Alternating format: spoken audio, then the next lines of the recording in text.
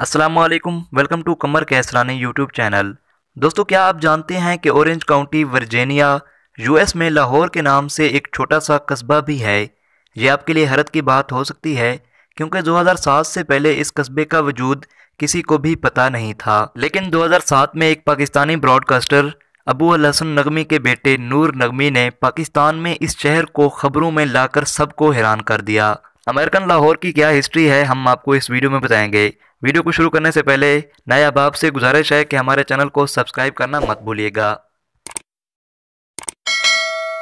इन करें या नहीं ये कस्बा 1850 की दिहाई से मौजूद है और इसका नाम लाहौर एक अमेरिकन जोड़े ने रखा था जब वो पाकिस्तान बनने से पहले लाहौर में जा रहा है कि नूर नगमी ने 235 एकड़ अराजी मालिक से खरीद ली है और इस पर उसको 30 लाख डॉलर अदा करना पड़ा। 2007 में नूर ने अपने मंसूबों का इंकशाफ किया कि लाहौर, वर्जीनिया को जनूबी एशियन और रियासत है मुतहदा यानी यूएसए में दीगर कम्युनिटीज़ के लिए इलाकाई सियाहों की तवज्जो का मरकज़ भी बनाएँगे।